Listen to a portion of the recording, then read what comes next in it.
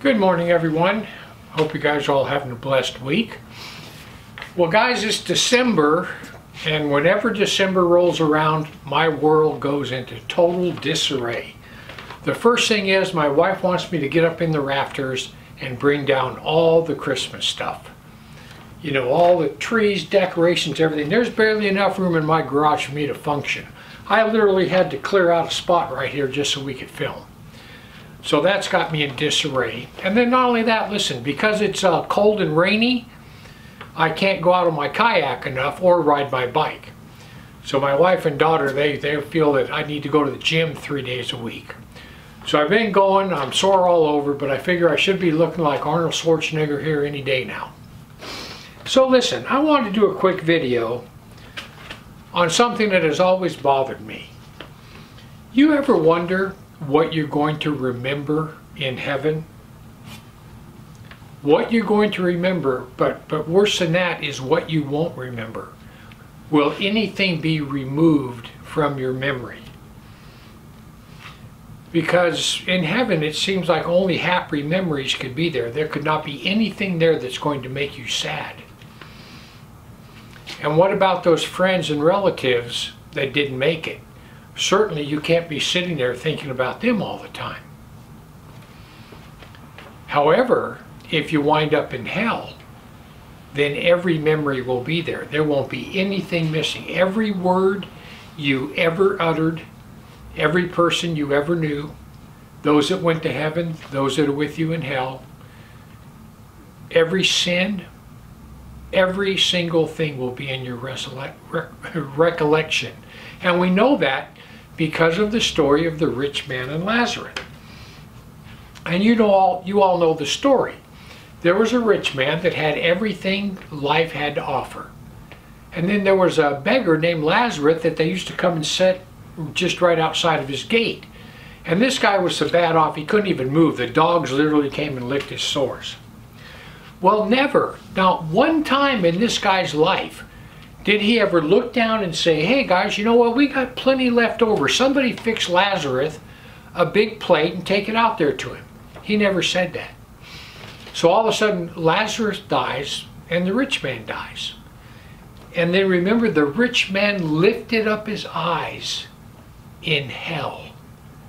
And all of a sudden he realized he was in torment. He knew exactly where he was, and he also knew he was in torment. And then he looked across and he saw Abraham. Well, he never met Abraham, but yet he knew that it was Abraham. And he recognized Lazarus and knew that Lazarus was there, and he asked Abraham to let Lazarus dip, dip his finger in some cool water and come cool his tongue. So he knew everything. He knew who he was. He said, Father Abraham, send Lazarus to my house. I got five brothers. I don't want them to come here. So he remembered everything. He knew who he was, he knew who Lazarus was. He, he remembered his past life. He knew he had five brothers. He knew everything. People, you know what I've always thought? My past torments me now. I think of people I've hurt, things I've said, things I've done. I mean, we all we can all look back at our life and love to go back and change everything. And I got a feeling that just remembering all the stuff that you've ever done wrong, that, that is hell within itself, let alone being in the fires of hell and having to think about all that at the same time. So guys, listen, it used to bother me because I would think that I don't want to forget anything. I mean, this is my life. It's who I am.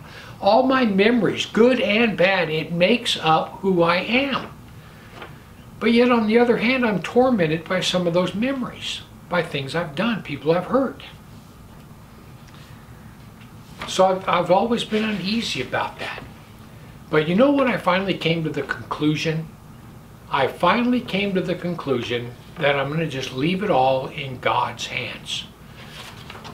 When we get to heaven and we're living in the, the, the new Jerusalem and we're going to be coming down on the earth for a few years, guys, when you're doing all that, love, pure joy, pure peace is going to be upon you. It's going to be an existence of love, joy, and peace. And you can't be remembering your mom or your dad or your sister or your brother that's frying in hell.